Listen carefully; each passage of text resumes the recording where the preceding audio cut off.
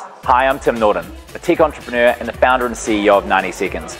And this Ride the Wave video series takes you on the incredible and real journey of growing and building a successful global tech startup. These days, 90 Seconds is one of the leading video creation platforms in the cloud and a company with almost 100 people across six global bases and $15 million in revenue and growing. But it hasn't always been that way. And we've built this with blood, sweat and tears, and really, we're just getting started.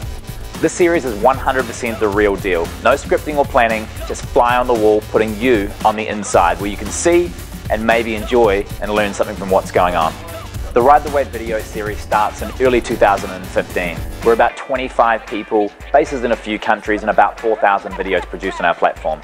We decided to turn the camera on ourselves and use our own platform to create this series and let you guys behind the scenes.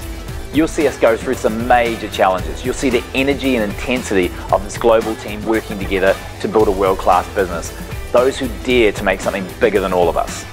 You'll see some of what it takes to succeed in things like opening global offices, hiring almost 90 people from 13 nationalities across nine countries, building a world-class product, winning and delivering success to a global customer base, building a brand and a sales team, and raising millions of dollars in funding by partnering with one of the world's best technology investors, the guys behind Google, WhatsApp, and Airbnb. You'll meet the people who make it happen, and you'll travel around the world with me and the team. It's the journey of our dreams, and we're making it a reality every day. You'll see things unfold almost as fast as we do.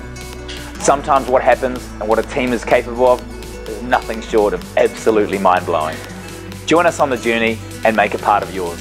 Subscribe to see the latest episodes and ride the wave with us. Yeah.